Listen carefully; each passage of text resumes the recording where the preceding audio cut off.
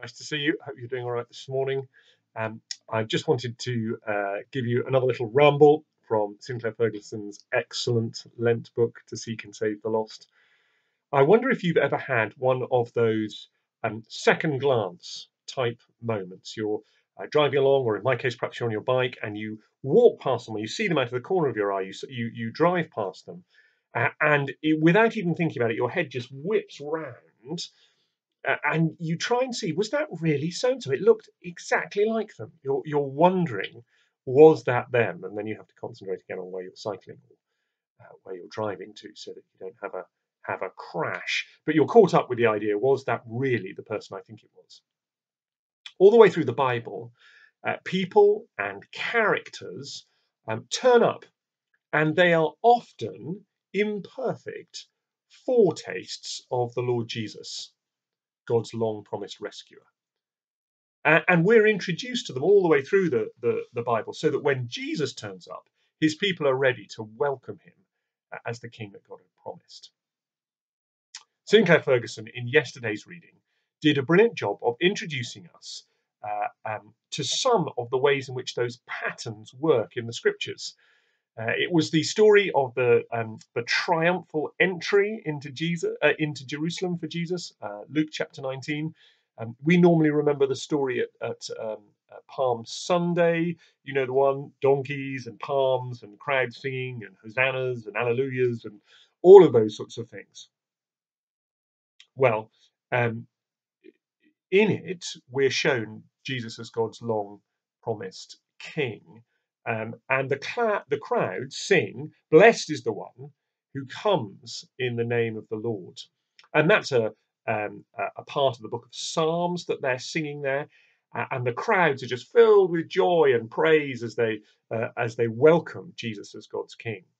But what's actually happening uh, is that some of the crowd, the Pharisees, the religious leaders, are appalled because they know exactly what's happening as God uh, as Jesus rides in and the crowds acclaim him as God's king. And they say, no, no, no, you shouldn't do that. You mustn't do that.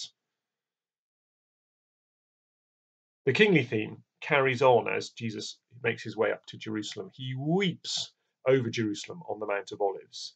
Uh, and in so doing, Ferguson helps, helps us to see that's exactly what King David did when Jerusalem rebelled against him and tried to make his son Absalom king. He wept over the hard heartedness and the rebelliousness of his people. And in so doing, um, King David was getting us ready for uh, the, the, the coming of the Lord Jesus, the one whom people would not just reject, but would put to death on a cross. And all of the prophets that had gone before um, Jesus' time all of those messengers who had spoken what the Lord was saying were to get us ready for the coming of the Lord Jesus and for his message. Coming not as one who spoke the message of God, but coming as the message of God, the word made flesh.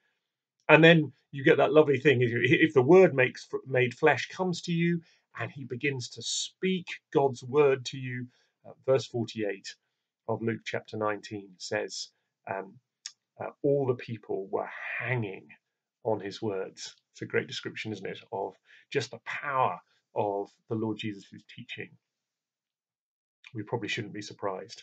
Lastly, uh, Ferguson points out as Jesus goes into the temple, as he drives out uh, the money changers, um, the people who are using this place of prayer for profit, as he gets rid of them, what he's doing is he's showing himself to be um, the true priest. He's restoring right worship to God's place and booting out the um, uh, the people who are just interested in making a buck or two. So those three ways of identifying Jesus and his work are known as the threefold office of Jesus. He's depicted as prophet, priest, and king. And as you read through the rest of the Bible, keep your eyes open. Your eyes open for the prophets, the Elijahs, the Moses, the Isaiahs, the Ezekiels, the Jeremiahs, all of whom herald God's word and all of whom are preparing us for the coming of Jesus.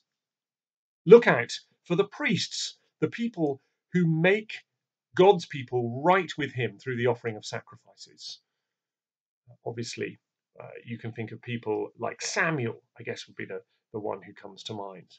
Um, and keep an eye out uh, for the kings who should rightly lead God's people in the worship of the Lord. Um, they all do that imperfectly. None of these people are perfect, but all of them uh, will fill in, if you like, shade in some background uh, for the Lord Jesus when he comes, so that when we see him, we should have one of those, ah, I've seen that before type moments. And then as you read the rest of Jesus' life, you'll see these things popping up right, left, and center. I'd never seen the thing about how Jesus was able to ride uh, on a donkey, which no one else had ever ridden on, in the midst of a street party and it not go completely mad.